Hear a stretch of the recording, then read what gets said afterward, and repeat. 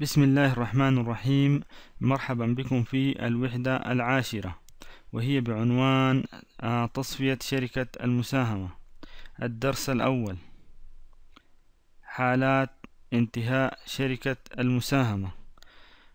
يعتبر الاستمرار هو أحد سمات آه، شركات المساهمة. لأن شخصية الشركة وذمتها المالية منفصلتان تماما عن شخصية وذمة حملة أسهمها.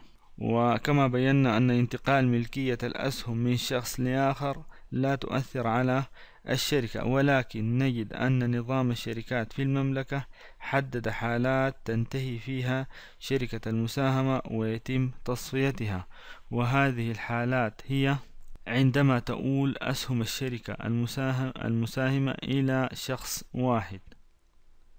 عندما تنقضي سنة كاملة عن انخفاض عدد مساهميها إلى أقل من خمسة مساهمين. عندما تبلغ خسائرها ثلاثة أرباع رأس مالها وتقرر جمعيتها العمومية حلها. عندما تنتهي المدة المقررة في نظامها الأساسي وتقرر جمعيتها العمومية حلها.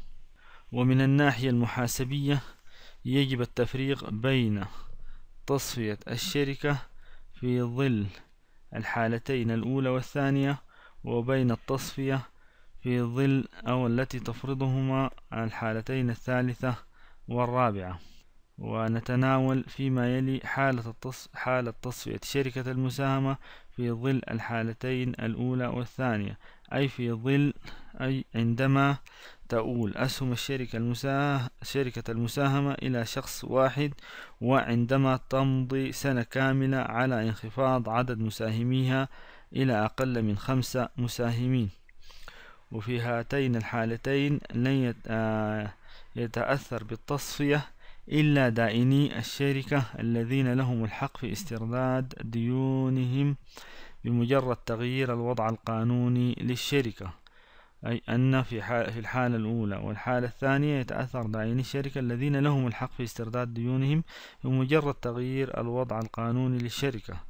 وتغيير الوضع القانوني للشركة في هذه الحالة أنه آه، تؤول أسهم الشركة إلى شخص واحد أو آه، تمضي سنة كاملة على انخفاض عدد مساهميها إلى أقل من خمسة مساهمين. ويقتضي الأمر في هذه الحالة انتهاء الشركة آه، وقفل حساباتها المدينة والدائنة نفترض أن شركة مساهمة تتمثل أصولها في نقدية في البنك ومباني وعقارات وآلات ومعدات وسيارات وتتمثل مصادر أموالها في قرض من البنك ورأس مال الشركة واحتياطيات نظامية واختيارية وأرباح مبقاة.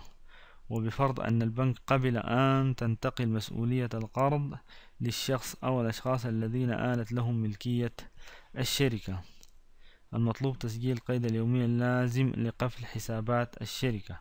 يكون قيد حسابات الشركة في هذه الحالة بجعل جميع مصادر أموال آه، أموال هذه الشركة آه، مدينة وجعل أصول هذه الشركة دائنة. وذلك كالآتي المذكورين حساب قرض البنك حساب رأس المال حساب الاحتياطي النظامي حساب الاحتياطي الاختياري أو ما يسمى بالاحتياطي الاتفاقي حساب أرباح المبقاة حساب مجمع استهلاك المباني وحساب مجمع استهلاك الآلات والمعدات وحساب مجمع استهلاك السيارات. إلى مذكورين حساب البنك وحساب المباني وحساب الآلات والمعدات وحساب السيارات. في هذه الحالة إذا صر الدائنون آه، على استرداد ديونهم فإنه يتم تسديدها ولو أدى ذلك إلى بيع شيء من أصول الشركة.